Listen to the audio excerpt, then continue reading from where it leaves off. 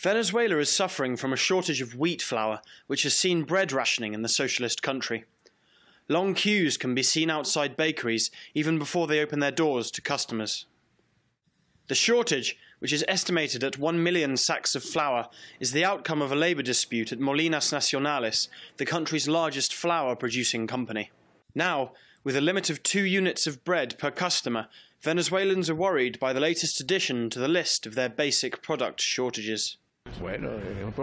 It's a big problem. Not being able to feed one's family due to the shortages is a bad state of affairs, not to mention the effect it has on business. We can only hope 2014 proves a better year. The flour shortage in the country is the latest to add to a growing list of scarce basic products such as cooking oil, sugar, and paper.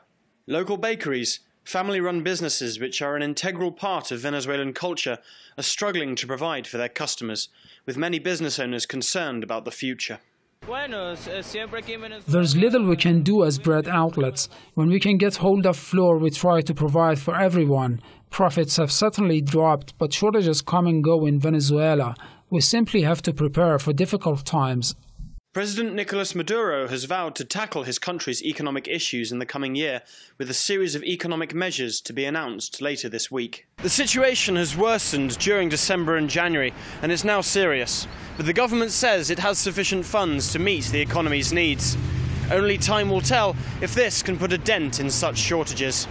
Alistair Baverstock, Press TV, Caracas.